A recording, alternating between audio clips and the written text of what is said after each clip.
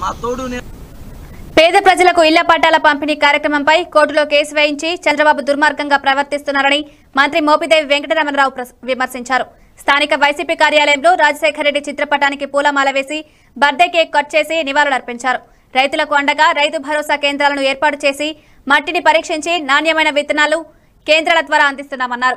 గతంలో ఈ crop ఇన్ఫు- insurance booking కోసం రైతులే డబ్బులు చెల్లించి బుక్ చేసుకోవాల్సిన పరిస్థితి. కానీ నేడు ముఖ్యమంత్రి ఉచితంగా ఈ కార్యక్రమాన్ని చేపట్టారని తెలిపారు.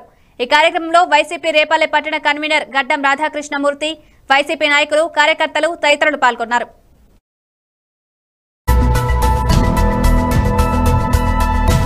సమస్యలు పరిష్కరించే విషయంలో కానీ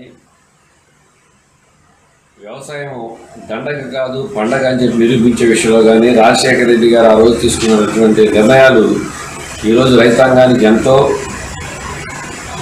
ఊరగనిచ్చే విషయంలో ముందంజలో ఉంటాయని చెప్పేదాన్ని ఎలాంటి సందేహం లేదు.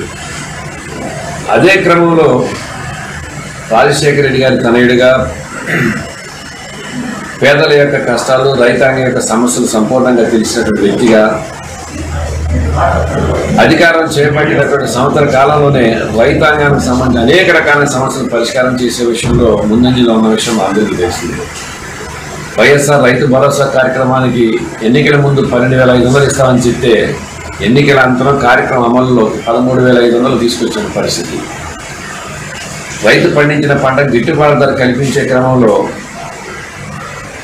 ధరల స్థిరీకరణ నిధి పేరుతో మూడు వేల కోట్ల రూపాయలు కేటాయించి వ్యవసాయ ఉత్పత్తులు ఎక్కడెక్కడైతే రైతు గిట్టుబాటు ధరలు లభించక ఇబ్బంది పడుతున్నాడో అన్ని ప్రాంతాల్లో కూడాను గిట్టుబాటు ధర కల్పించేదానికి శ్రీకారం చుట్టే పరిస్థితి. అదేవిధంగా రైతు భరోసా కేంద్రాల ద్వారా రైతాంగానికి సంబంధించిన సమస్యలన్నింటి పరిష్కారం చేయడానికి మరి భూసార పరీక్షల దగ్గర నుంచి నాణ్యమైన విత్తనాలు రైతుకు సప్లై చేసే విషయంలో కానివ్వండి ఎరువులు సప్లై చేసే విషయంలో కానివ్వండి రైతు పండించిన పంటకు గిట్టుబాటు ధర కల్పించే విషయంలో కానివ్వండి రైతు భరోసా కేంద్రాలు ఒక దిక్సూచిగా గ్రామాలలో రేపు రానున్న రోజుల్లో ఉంటాయనే దానిలో ఎలాంటి సందేహం లేదు.